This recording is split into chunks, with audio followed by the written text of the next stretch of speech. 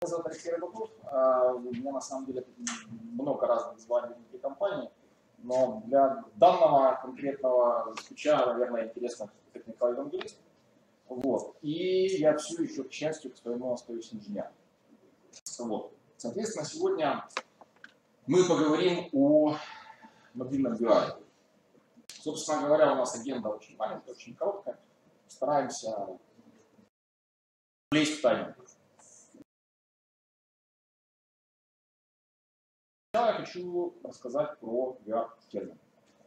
Ну, это важно, потому что, э, в общем-то, очень много мобильных девайсов виртуальной реальности, просто девайсов виртуальной реальности, они оперируют какие-то там параметрами, там, там, FOV, FPS, API и так далее. И если ты не знаешь, что это значит, ты можешь сделать какой-то неправильный а, выбор как технологии, на которой разрабатывать, так и самого девайса, на который разрабатывать.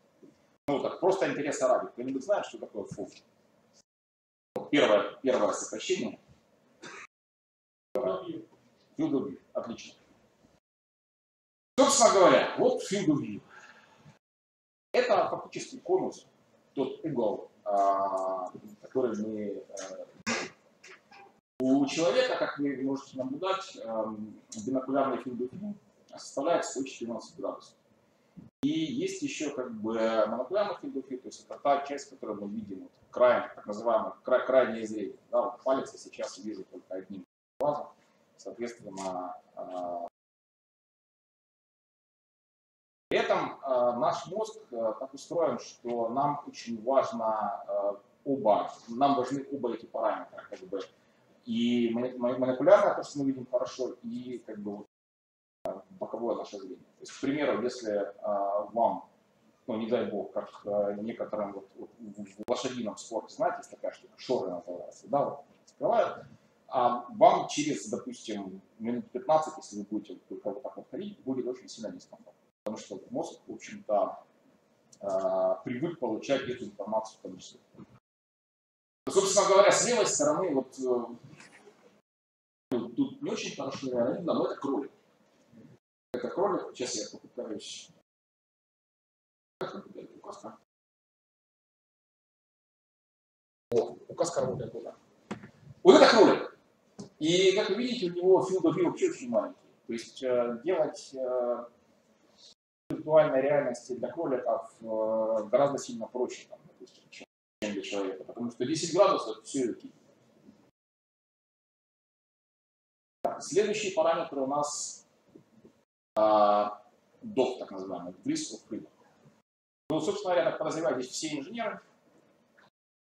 Ну, здесь есть инженеры? Да, отлично, один инженер. А, вот, а, это степень свободы. В общем-то, как бы степень свободы считается очень просто. Если мы можем перемещаться по какой-то оси, да, мы ставим там один там 2, это 3, и вращение вокруг оси 4, 5, 6. Мы с вами живем в мире, где у нас 6 степеней свободы,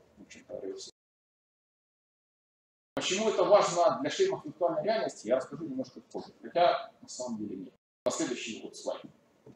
Здесь показаны два, два варианта шлемов. Один с тремя степенями свободы и один с шестью степенями свободы. А Смысл в следующем, что когда у вас член с тремя степенями свободы, и вы начинаете в физическом мире реально перемещаться, вся картинка двигается вместе с вами. А те, кто пробовали сегодня шлем, вот тот, который э, мы вам показывали, э, если пробовали ходить, могли заметить, что там 6 степеней свободы.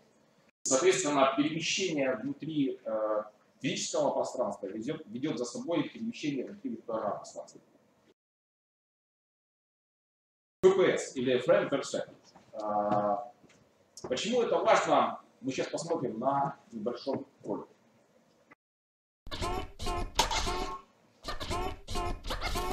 Очень просто и доступно показывает, да, что чем выше у нас э, скорость кадра, тем качественнее у нас изображение. Здесь есть все равно мерцание, потому что как бы отрисовано на бумаге, но тем не менее, посмотрите, да, как пройдет 120 FPS, и можно наблюдать вот пламени э, выстрела летающих Почему э, важно? Я чуть позже. Для этого популярный слайд.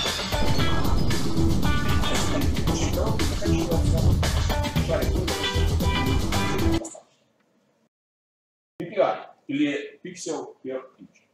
Это параметр, который определяет, сколько пикселей у нас находится в реальном размере э, нашего экрана. Собственно говоря, очень простой пример. 10 пикселей на инч на 2,5 на 2,5 сантиметра, да, и 20 пикселей. Пиксель меньше, изображение получается более четким. Пиксель больше, изображение получается менее четким. Сейчас мы доберемся, собственно, до сути. А, как работает внезапно наша физика? У нас есть медики кто-нибудь? Кто-нибудь медики? Нет медиков, отлично. А почему мы видим трехмерное изображение? Да, потому что левый глаз и правый глаз видят как бы две разные картинки за счет того, что они смещены.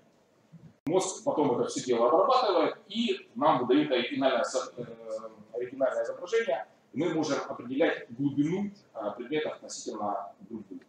То есть, допустим, э, люди, которым не повезло родиться с какими-то, ну, допустим, к примеру, один глаз не видит с детства, они воспринимают мир вообще абсолютно по-другому.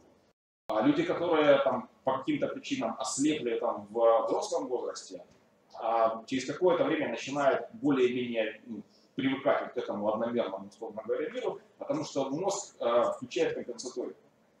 И мозг у нас очень я вам здесь показываю. Мозг. И мозг у нас очень имеет большое в этом плане значение. Ну, как обычно.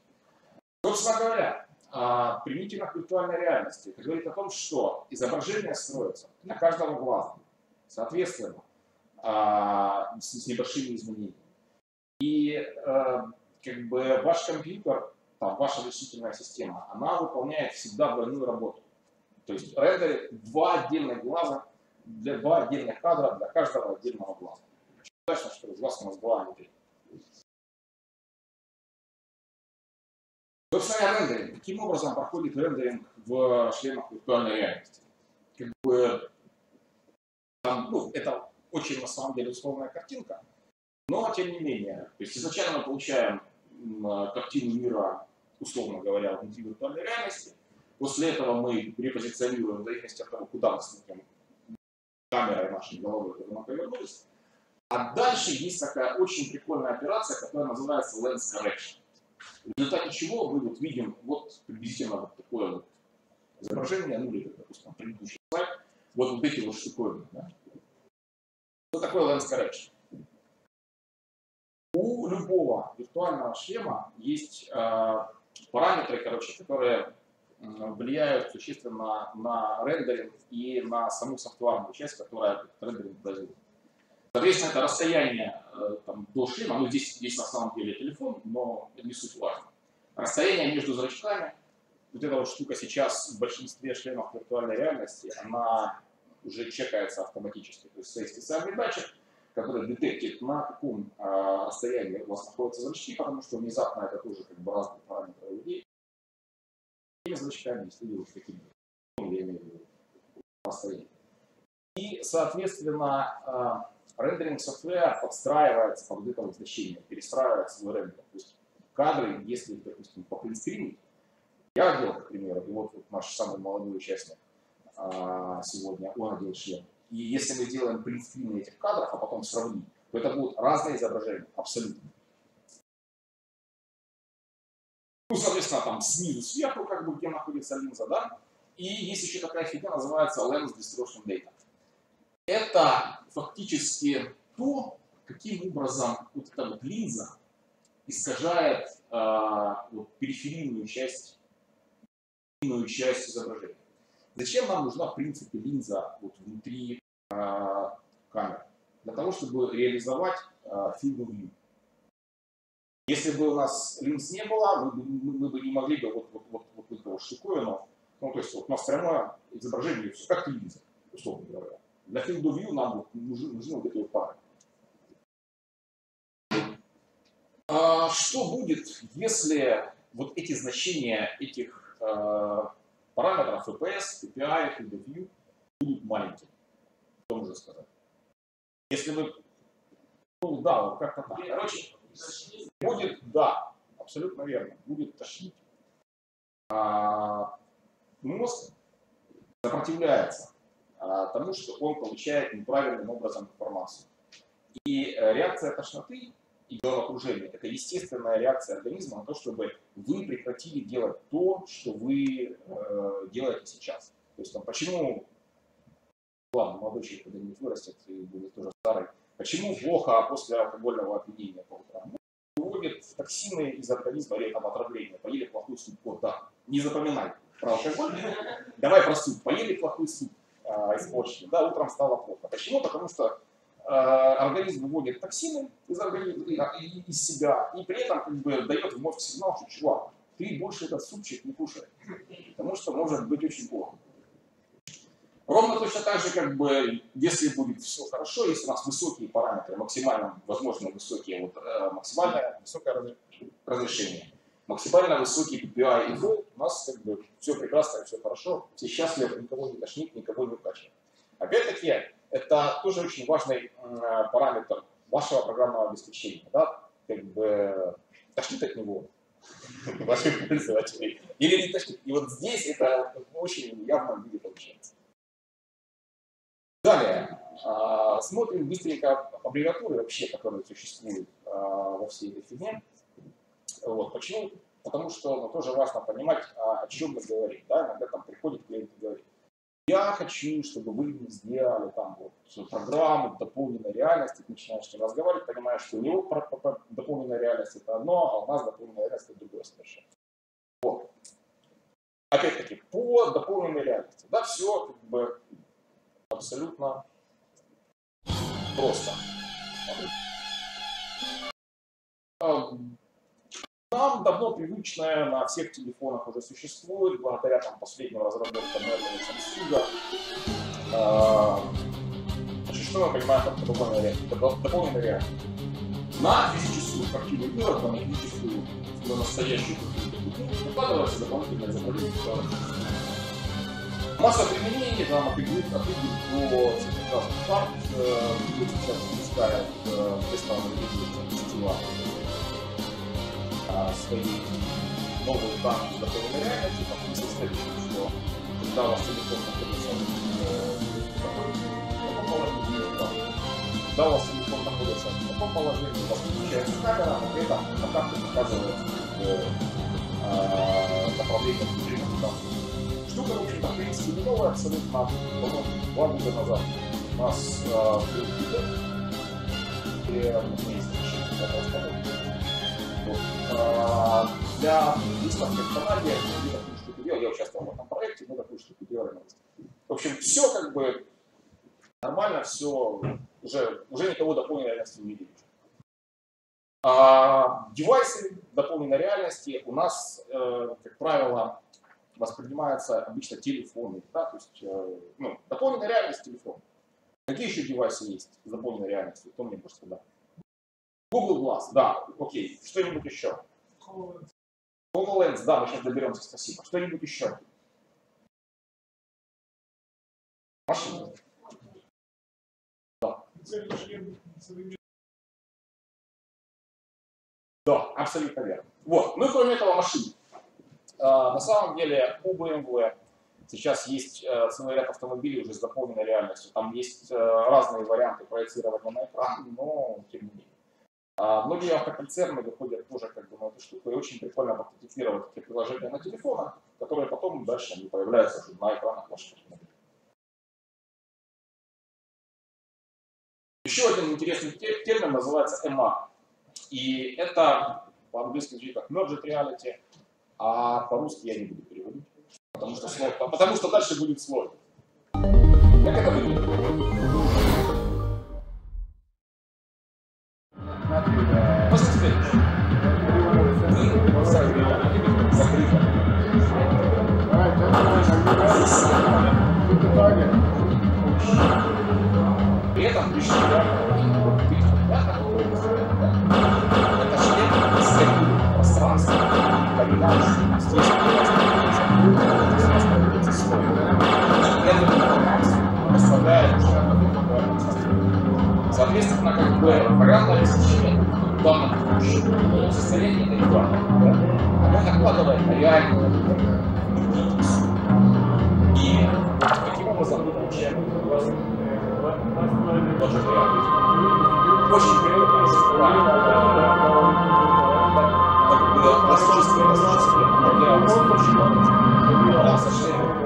Виртуальная реальность очень наукой, конечно, железно расставляется специально для задач позиционирования и взаимодействует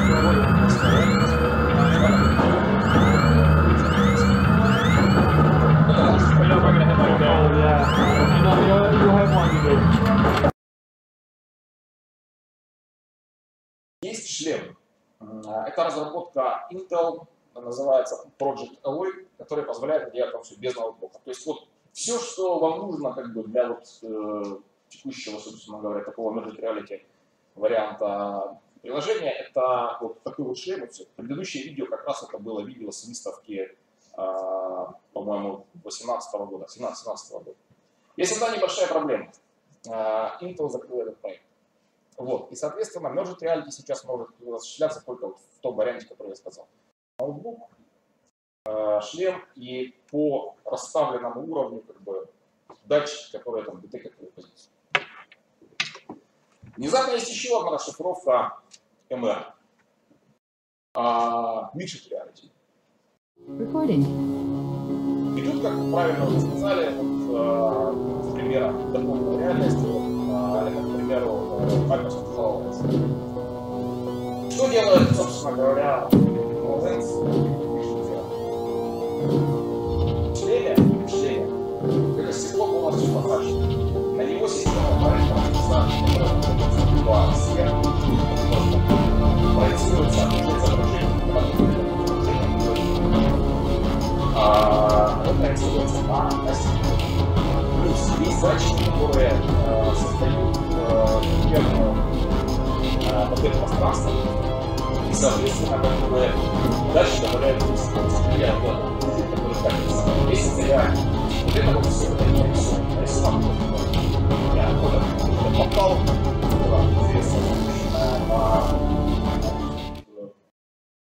на Microsoft HoloLens.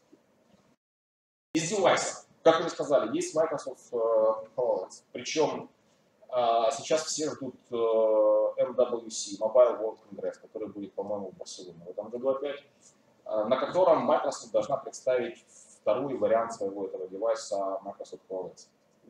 У нас когда-то была возможность пописать, более того, мне даже давали этот шлем поиграться. Я на три дня сказал, что на проекте ребята, не извините, я заболел. Вот. Я заболел, я возьму отпуск, но я три дня сидел дома, не вылазил, разбирался с этим. Э, ну, мне его дали на три сказали, вот хочешь, что хочешь, не то и делай.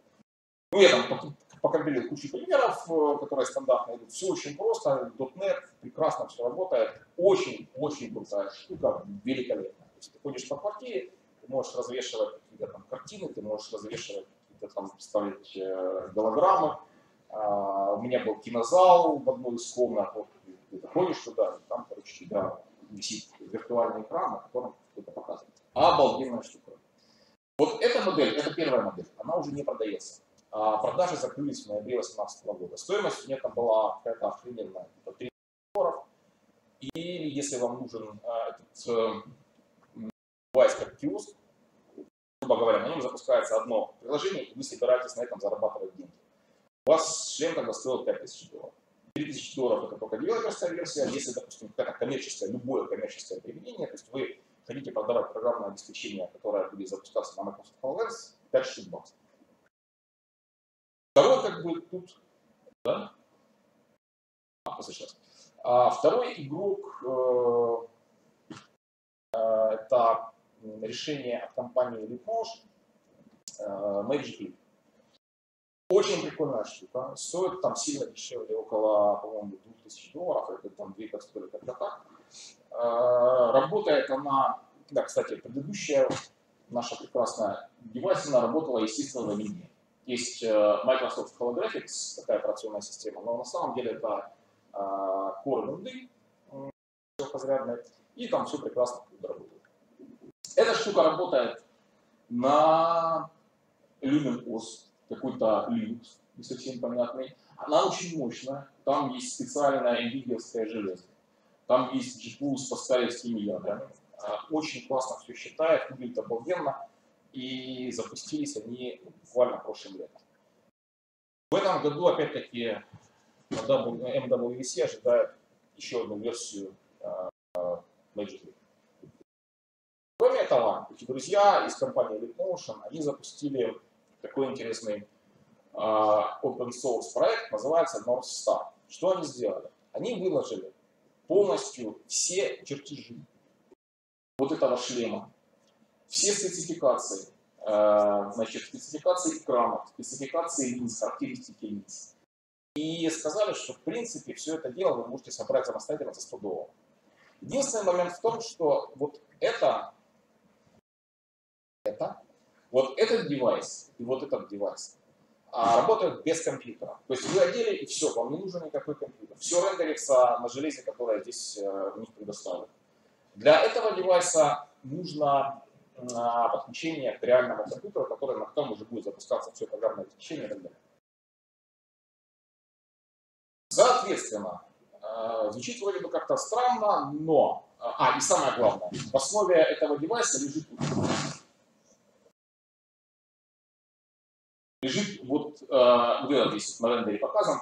Это Magic Leap, такая маленькая штука, которая позволяет э, считывать э, движения там, рук, пальцев, там, настроить в реальном времени модель руки. А Leap Motion этот девайс продавала по-моему, лет 6 уже подряд продает, там две версии не было, очень прикольная штука, можно делать классные фигуры. Собственно говоря, что делают на этом North Star те люди, которые из э, исходников, так сказать, спецификаций смогли собрать себе этот шлем? Выглядит это вот следующим образом.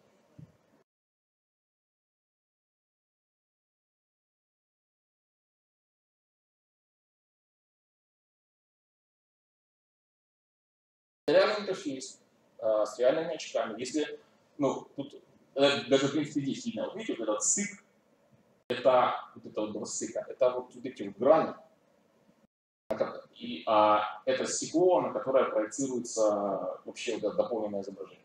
Очень прикольная штука, то есть она детектит ваш стол, она запоминает, куда вы что повесили. Вот, она детектит глубину, видите, он заносит руку. И а, изображение а, полупрозрачное рендерится поверх руки. То есть, допустим, в шлемах мала быть ситуация, что вы руку ставите и больше ничего не видите. Здесь э, есть видно. Ну и более прикольный прикерчик.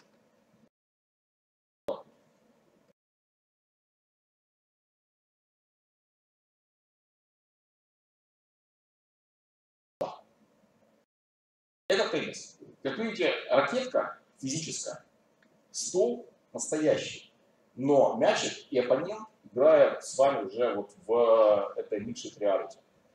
При этом как бы, ну, там э, еще, в общем-то, есть звук. То есть, когда мячик ударяется, ударяется об ракетку, тебя фигачит звук. И э, звук ударов об стол тоже как бы есть.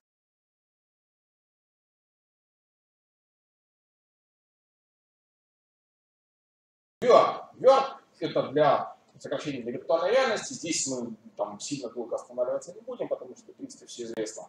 А, игроков э, на рынке как бы много, там наиболее известных Oculus и Vive, соответственно, это две различных платформы, платформа Oculus и платформа HTC Vive. Вот. Это разные операционные системы. Oculus работает только под Windows. А HTC Vive работает на Windows и SteamOS. SteamOS это, а, ну, это да, чистый Linux, как бы Linux для, для игровых машин Steam от э, компании. А, тут, в общем-то, почему я вам рассказывал о всех этих параметрах, да? Имеет значение PPI, имеет значение Resolution, имеет значение Refresh Rate, имеет значение э, и сенсор. В этих системах, в этих системах, а, и они э, по своему принципу имеют 6 степеней свободы. Но для отслеживания перемещения, вот э, это вот старое, которое ну, которые сейчас распространены и сейчас продаются.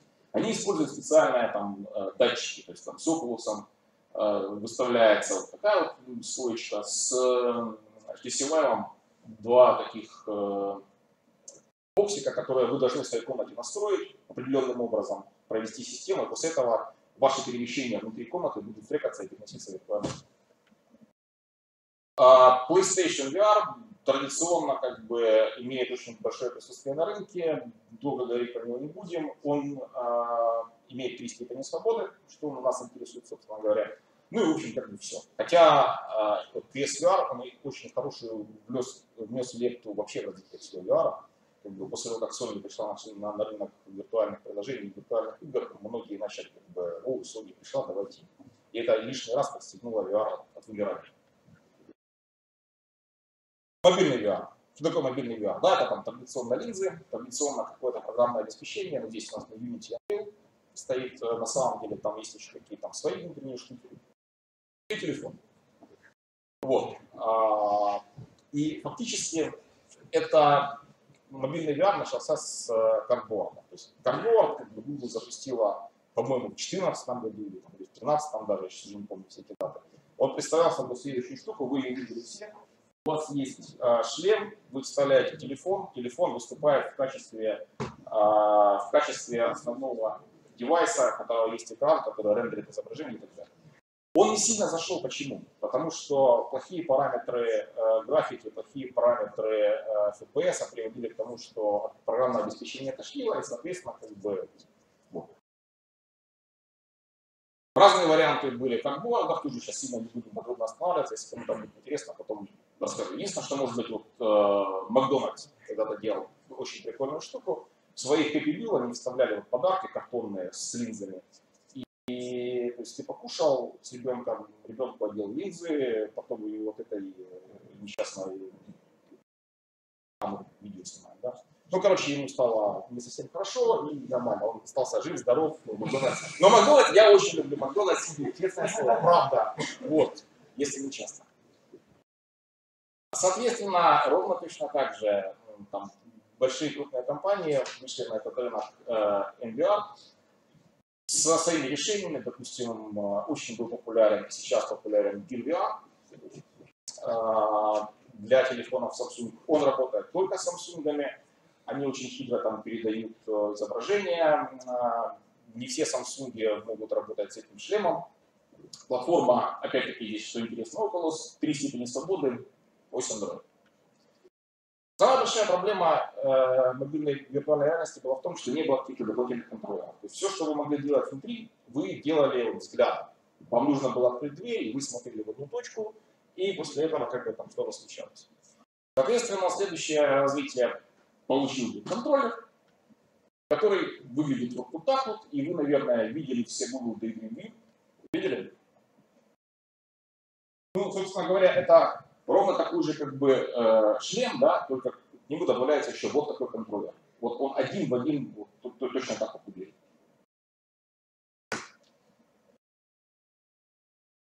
Туда опять-таки сразу же быстренько вышел Samsung PVR. А, ровно все те же характеристики работает только с телефоном, но добавился контроллер. И контроллер, и сама платформа имеют три степени. А, три степени свободы. Ну и, собственно говоря, вот самое интересное, да, то, что мы там сегодня наблюдали, это Mobile Standalone VR. Чем он отличается от мобильного VR? Тем, что вам не нужен телефон. У вас все происходит внутри вот этого железа. Но мы сейчас доберемся конкретно до, до Daydream. Рынок достаточно большой. А, вышел Oculus Go. Соответственно, тоже три степени свободы Oculus Android. Внутри стоит э, Qualcomm 820 серии. Он ну, достаточно мощный, чтобы поддерживать рендеринг, но не такой мощный, как в этом железе. В этом году должен выйти Oculus Quest, и вот эта вот штука будет сильно интересная, потому что кроме того, что у нее два контроллера, два контроллера. А, она сама по себе 6 степеней свободы, и оба этих контроллера тоже имеют 6 степеней свободы. То есть вот, а, а кто сегодня пробовал этот шлем? Отлично. Если вы заметили, вы не можете вот, э, взять контроллер в руку и отодвинуть. Точнее, вы можете, но у вас внутри ничего не изменится. Потому что, условно говоря, ну, там, как легко объяснить, как работает контроллер. Да, у вас из из груди у вас торчит, э, я хотел сказать из пуза, но вы не думали, да. Из груди торчит типа указатель, вы, вы, вы направляете, там есть только повороты и все. У этого девайса, у него вот эти вот все штуковины, они детектятся, они переходят в мир. Причем а, для этого девайса не нужны внешние сенсоры. Значит, как он работает? Вот это вот все, вот это вот, это маленькие камеры, которые в инфракрасном, ну, скорее всего в инфракрасном, я вот около скорости не уверен на самом деле, детектят вот эти вот поверхности. Почему они круглые? Да? Потому что нужно получать изображение изменения.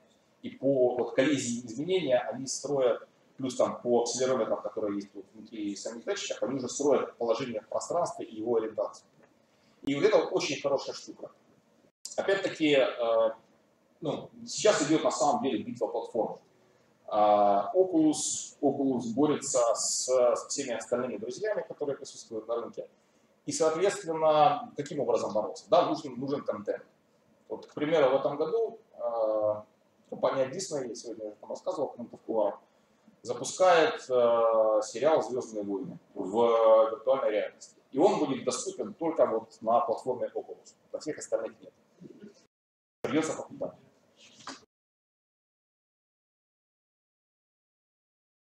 Uh, Vive Cosmos. Это тоже новый девайс, очень прикольный, на своей внутренней платформе HTC. Вообще, на самом деле, с HTC э, интересная история. Изначально, когда Daydream э, анонсировался, Daydream Standalone, э, в позапрошлом году, у него было два партнера. Э, компания Lenovo и компания HTC. И ближе к выходу э, самих девайсов, вот в прошлом году их показали в мае месяце на Google I.O. HTC сказала, что, ребята, не, мы с вами не будем партнериться, мы выпустим свои, э, свои очки вот, на своей платформе, которая тоже на Android, но она не использует ваш стек э, View как бы, и, и, и, соответственно, э, ну там скорее, я не знаю, я не уверен, но скорее всего там были какие-то лицензионные споры.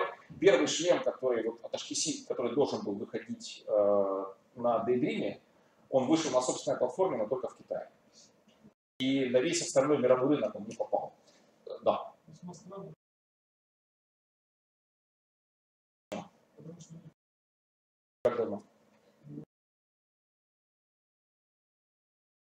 Ну, прям все подразделения? Но, тем не менее, Vive Cosmos выходит на собственной платформе. А вот эта версия выходит на, на все рынки, в том числе на, на рынке Европы.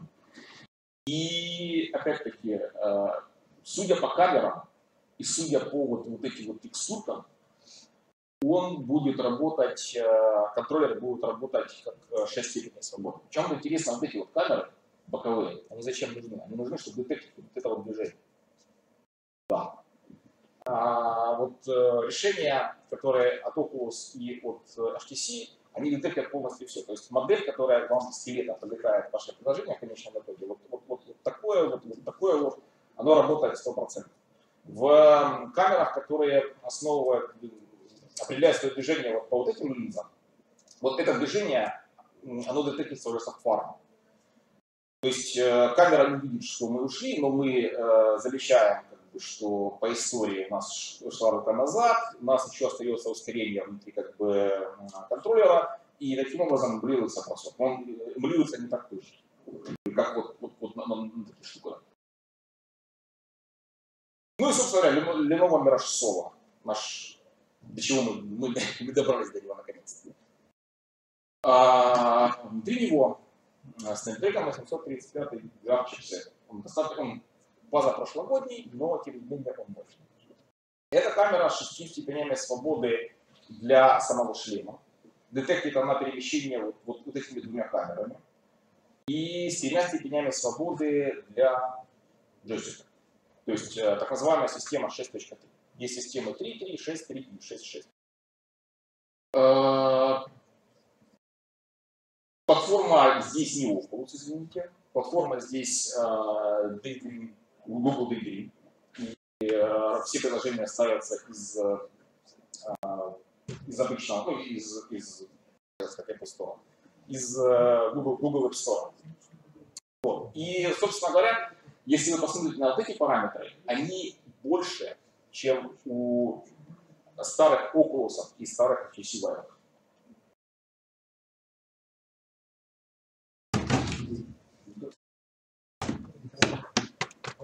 Что должно было, что должно было упасть сегодня, как бы, и, и оно упало. А, значит, по умолчанию, по умолчанию, в этом шлеме включен так называемый туман безопасности. И по умолчанию игрок имеет э, вокруг себя э, всего лишь один метр пространства. И вот вокруг этого метра он, он может пользоваться. Я сейчас запущу видео, мы это все увидим. А, сейчас вот э, шлем находится в режиме как бы включенном. Ну, пример. Опять-таки, многие из вас сегодня уже попробовали шлем. То есть видят, как, как работает этот э, сам джойстик, сам контроллер. Это у него сенсорная поверхность. Как бы это также, да. Делать. Я чуть, чуть позже я могу рассказать, если есть. Ну и, собственно говоря, так, фок. А, это кнопка, опять-таки, ну вы ее все уже сегодня попробовали, всем рассказали, кнопка позиционирования экрана обратно. И, собственно говоря, вот сам этот прекрасный туман, сейчас мы начнем двигаться.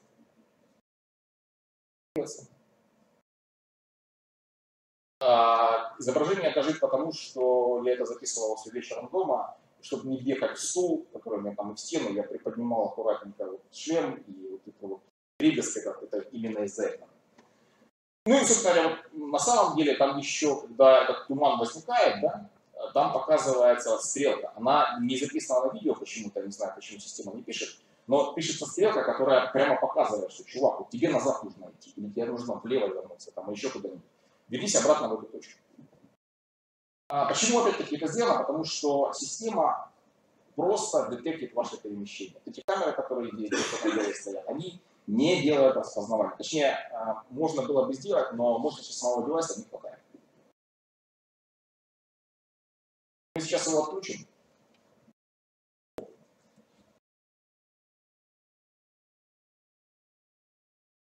Вот, а, заодно посмотрим, как это делается. Делается это через а, настройки Developer Options.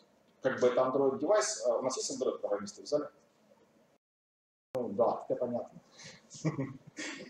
А, значит, любой телефон а, андроидовский можно перевести в а, режим а, разработки. Там, для этого нужно зайти в информацию о системе, найти build, так называемый параметр, ну, там, там build такой-то, и пять раз на нем класс. После этого появляется дополнительное меню.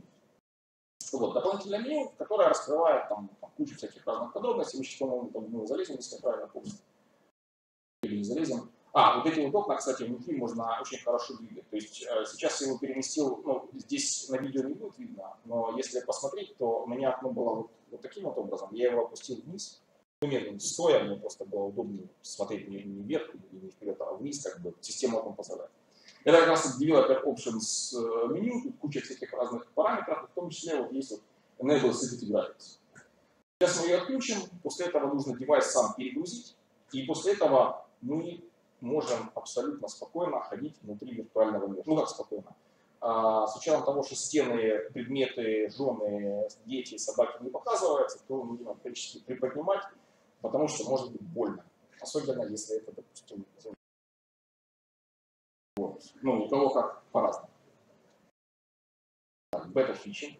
Кстати, да. А, вот система, которая нам позволяет передвигаться в пространстве, которая сканирует, называется у Google Vault Sense.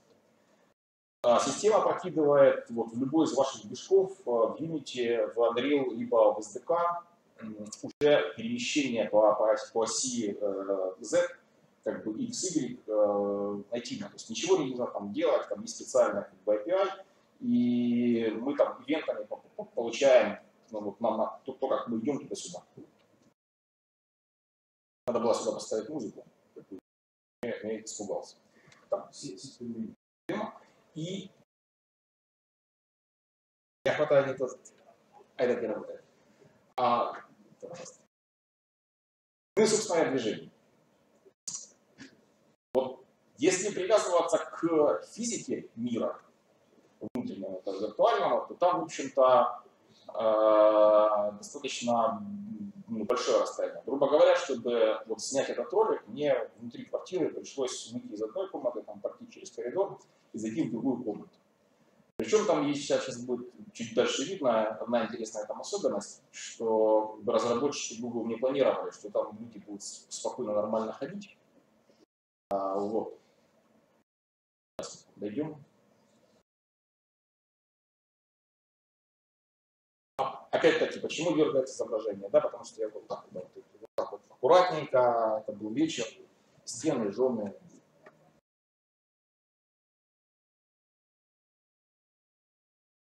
Было интересно, что там в реке. В реке нет. Вот, камешек, видите?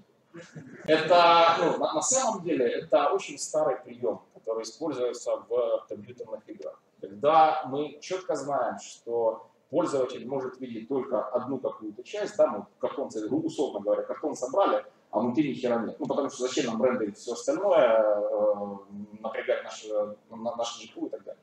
Ну и, собственно говоря, вот, да, Э, ребята, видно, там были старые модельщики какие-то, которые знали, как правильно писать эффективные игры. А это, так сказать, вид меню и вид сзади. Что самое удивительное в том, что оно работает. Бы, даже сзади оно работает. Ну и, наверное, а, Play еще, да.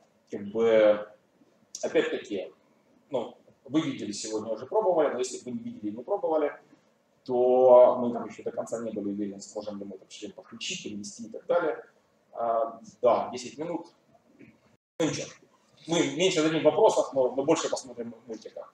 Короче, э, вся система взаимодействия с установкой приложений э, построена именно вот такими вот комнатами отдельно, ну, в данном случае пещера, да. То есть таким образом вы выбираете приложение, таким образом вы его устанавливаете. Миррорчасовая камера. Опять-таки, многие из вас фотографировались. А, я эти часть фотографий уже залил на шлем. И многие из вас как бы видели себя. В чем, собственно говоря, прикол? В этом году, в прошлом году, Google придумала новый формат, который назвала VR 180. Смысл этого формата в том, что а, кроме изображения, как бы вот, ну, самого изображения кругового, условно скажем так, Сама камера еще а, сохраняет э, в JPEG э, дополнительную информацию о глубине. И, условно говоря, у вас строится изображение, она очень похожа на, на воксельное. Знаете, что такое воксель? Воксель это первый пиксель, да? У пикселя есть x, y, у вокселя есть еще z, и вот он может по этой штуке выставить. Ну, это нужно как бы тут, сейчас э, попробуем показать, как это выглядит. А, из вещей интересных, да, вот фотографии сохраняются в JPEG, в обычно. И показывается изображение для левого глаза. А для правого глаза внутри JPEG сохраняется метаинформация. И когда, этот, э, э, когда эта фотография показывается на устройстве, которое может воспроизводить вот именно 3D, информация берется и дальше делается вот такое трехмерное изображение. Если у вас этого нет, то обычно ну, с искажениями как бы вот такая вот фигня. Ну и там фотография нам более подробная.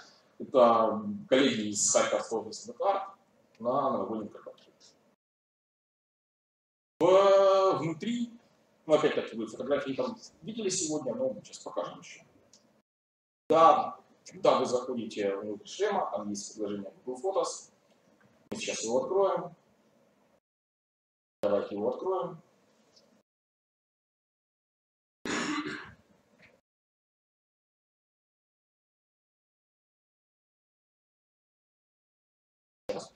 Пробуем. А, в любом случае, вы фото видели. Если не видели, мы, мы вам покажем, но просто ну, гораздо проще посмотреть, как, как это выглядит. Гивила. Я успеваю. А, Mirage Solar. Это прекрасное устройство, это устройство на Android. Вы можете к нему подключиться. На него от Lenovo есть отдельная прошивка. Когда вы регистрируетесь как э, разработчик э, Lenovo, то к Mirage Solo мы можем получить э, прошивку, Android весь, его перепрошить, как нам, нам нравится, как угодно, и мы будем с ним работать. Там вот это вот как бы, пример, ну, опять-таки, там, наш единственный разработчик знает, что это такое. Это как бы консоль, а, я подключился через ADB application, и фактически вот это вот я лажу по этой камере, там, вижу какие там параметры далее тому подобное. То есть это обычный, именно сама камера, обычный Android device. А, точнее, извините, это, э, это Solo Shell, это этот девайс. Камера, камера выглядит следующим образом. Слишком, слишком много пульта. Это камера. Опять-таки, если вы подключаете камеру к PC, видите вот такую структуру. И вот в папочке DCMI и VR180 сходятся все эти вот JPEG, которые аккуратненько потом можно перетащить на ком, и дальше вы там увидите его, если там Mac или Windows, вы увидите вот, вот разгадочную картинку левого глаза. Если вы загружаете это все дело на шлем, то там получается верная картинка.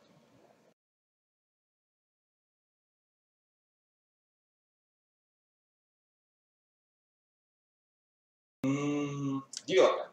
Про девелопер очень кратко, буквально два слайда и все, потому что если вам интересно про девелопер поговорить, а, вы можете меня поймать, если буду до конца дня, и до следующего утра в вашем прекрасном городе. Welcome в любой момент времени. А, можем обсудить. Естественно, поддерживает Unreal. А, но Unreal поддерживает пока что это все в отдельном branch е. То есть, соответственно, если вы ставите себе Unreal Studio для разработки, чтобы была поддержка для Дима, вам нужно скачать отдельную ветку, ее перекомпилировать аккуратненько, получить себе редактор и дальше там работать в конечном итоге вы получаете VR-мод, выбираете Daydream, и у вас все прекрасно хорошо. В Unity все работает гораздо круче. Вы просто ставите необходимый плагин в Unity, и дальше у вас появляется в Virtual Reality System, появляется, к примеру, там, допустим, Daydream. Ровно точно так же подбор есть уже из коробки, Oculus нужно добавлять, Zero Display, там еще там.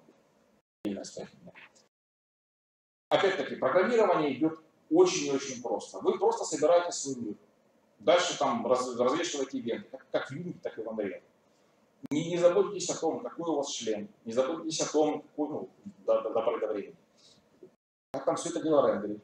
И когда вы заливаете ваше приложение на, на сам девайс, у вас получается виртуальная реальность. Очень просто. Момент вхождения там, крайне простой, две или три недели туториалов. Вот молодой человек, самый молодой у нас, может это абсолютно спокойно дома сделать. Я, я серьезно говорю. И нет никакого отрицания. И еще одна интересная технология, называется Daydream Surat. А, те, кто запускал сегодня приложение а, по этой прекрасной игре, бегущей по лезвию битвы, Blade могли наблюдать, что очень качественная, очень красивая игра. Это заключается, э, получается благодаря тому, что сам Сюрат работает следующим образом. Вы загоняете сцену в 3D Max или в Maya, ставите этот плагин Сюрат, говорите, что вот эта сцена должна отрендериться. И дальше движок э, собирает, ну, условно говоря, э, набор картинок для разных позиций. Там не получается сделать совсем-совсем плавное движение, движение идет по точкам. Но при этом для каждой точки у вас э, сделана очень качественная отрендеренная картинка, плюс там еще есть там, способы Э, способ сжатия информации, это получается не, не такой уж там прямо помнишь объем. Ну собственно говоря, что получается, если там умело это все дело приложить, это демка, которую показывали на этом шлеме в прошлом году на Google Air. А компания Industrial Light Magic, которая ну, делает все спецэффекты для Звездных войн, собственно говоря, собрала вот э, такой прекрасный уровень, это то ли звезда смерти, то ли там что-то еще, и ты как бы там не переключаешься. Ну и тут, собственно говоря, маленький ролик, который показывает, как они ее создавали. А, опять-таки, к сожалению, эта демка нигде не доступна, ее нельзя даже посмотреть. Но, скорее всего, вот э, в этом новом мобильном сериале, который будет э, выпускаться, скорее всего, они что-то из этого используют. Мой любимый слайд. Спасибо.